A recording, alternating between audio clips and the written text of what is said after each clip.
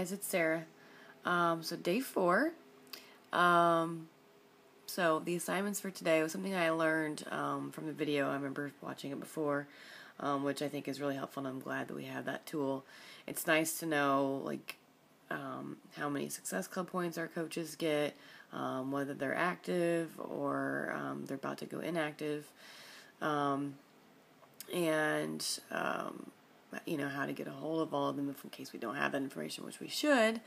Um, and just to, it's nice to see all of your coaches listed um, because you can't see them any other way.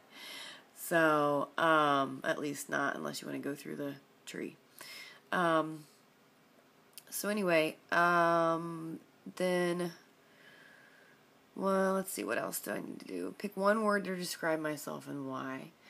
Um, probably genuine. Um, I am as genuine as it gets. I am pretty transparent.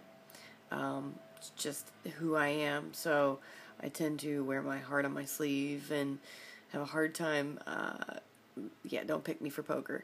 Um, I'm a terrible poker player.